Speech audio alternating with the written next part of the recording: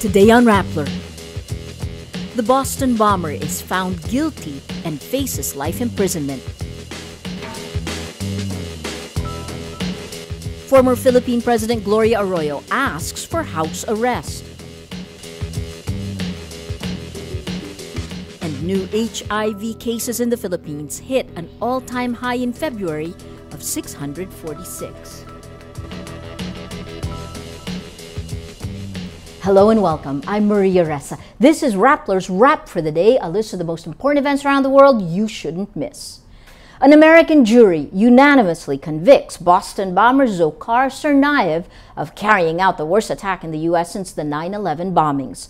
After a day and a half of deliberations, the jury found him guilty of all 30 charges related to the April 15, 2013 attacks. The charges include the murder of a police officer, a carjacking, and a shootout while on the run. The 21 year old former student now faces life in prison without parole. He may also face the death penalty during the second phase of his trial. Twin blasts rocked the Boston Marathon on April 15, 2013. Three were killed, while 17, while 264 were wounded. The Philippines, the US, and Japan vow to work together on maritime security and fighting terrorism. President Benigno Aquino and the two envoys make the promise on the anniversary of the fall of Bataan in 1942, when US and Philippine forces surrendered to Japanese invaders.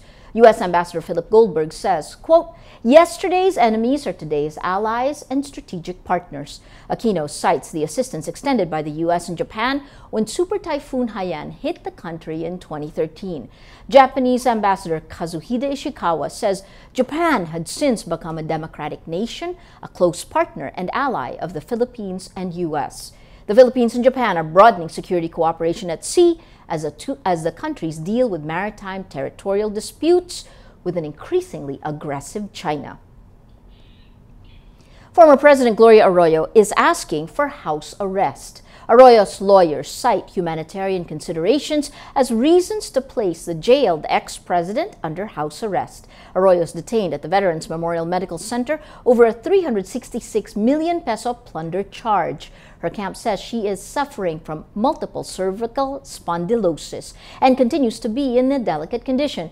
The motion comes a day after Anti-Graft Court Sandiganbayan denied the motion to dismiss her case. The Filipina mother of a teenager who committed suicide in Hong Kong is released on bail. Herminia Garcia was arrested on suspicion of, quote, ill treatment or neglect of a child or a young person. Garcia was reportedly a former domestic helper who overstayed her visa for 20 years. That was partly why she, she was hesitant to apply for birth certificates for her daughters.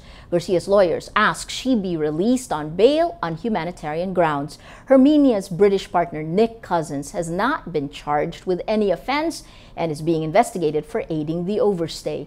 Cousins is the managing director of insurance broker Jardine Lloyd Thompson in Hong Kong. Initial media reports say the teenager who fell from an upscale apartment was unhappy. She and her younger sister had never attended school because they did not have identity papers. Garcia's lawyer denies this and says the girls were enrolled in an education center.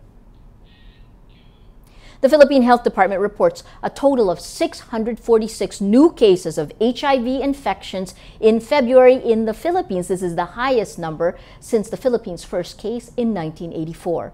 About 84% of the 586 cases are males who have sex with males. Other ways of transmission include needle sharing among drug users, with 58 cases, and mother to child transmission with two cases. A total of 23,709 HIV positive cases and 1,149 deaths were reported from 1984 to 2015.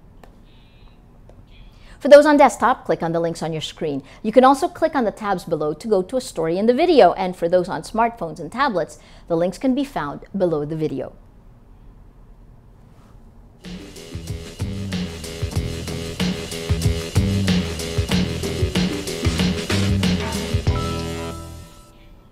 Rappler has a patented user engagement model that puts a mood meter on every story. If we take a look at the mood navigator in the middle of the front page, this crowdsources the mood of the day. If you take a look, the story that's gotten the most number of votes is this one.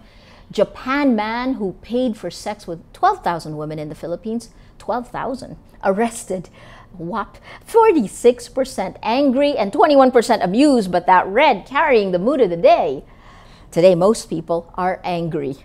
Well, that's the wrap for today, Thursday, April 9th, 2015. Visit Rappler.com for the latest news here and around the world. Check out our other shows, SciTech for You and Rappler Talk. And if you haven't yet, subscribe to our YouTube channel.